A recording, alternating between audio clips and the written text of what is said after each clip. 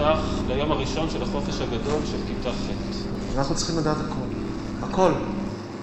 תגידי לי, אה, כשהוא חדר, את היית יבשה, או שהוא ישב עליו? על הברכיים. את מוכנה להוציא את היד מהפה שנוכל לשמוע בדיוק מה את אומרת? אולי לא הייתה בכלל חדירה.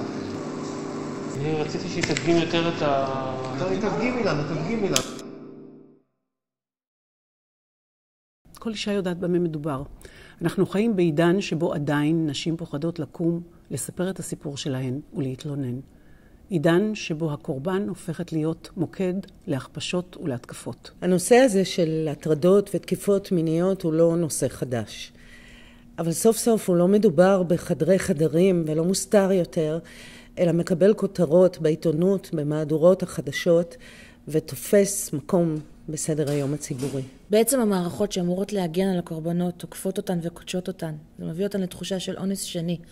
מי שמוסיף לזה זה גם הציבור ברשתות החברתיות ובתקשורת, שמצטרף להתקפות ותומך בתוקף. בתהליך העבודה אנחנו מנסים לחקור ובעיקר להבין מה קרה שם באולם הדיונים. זאת אומרת, איך אה, הם הגיעו למצב שהרכב של שופטים, סנגור ותובע, כולם גברים אה, משכילים, עם המון ניסיון, הגיעו למצב שהם מבקשים מבחורה בת 16 להדגים את האונס. במופע יש לנו חילופי מינים.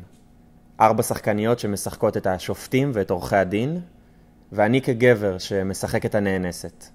אמפתיה היא פעולה פוליטית. היכולת שלנו להיכנס לנעלי האחר, גם אם הוא שונה מאיתנו במגדר, בגיל ובמעמד. וזה בדיוק מה שאנחנו מנסים לעשות כאן.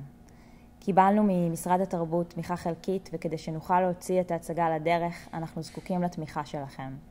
אנחנו מציעים לכם כרטיסים להצגה ועוד שלל מתנות נוספות. יותר מנשמח אם תעזרו לנו להוציא את תדגימי החוצה. אנחנו צריכים לדעת הכל. הכל.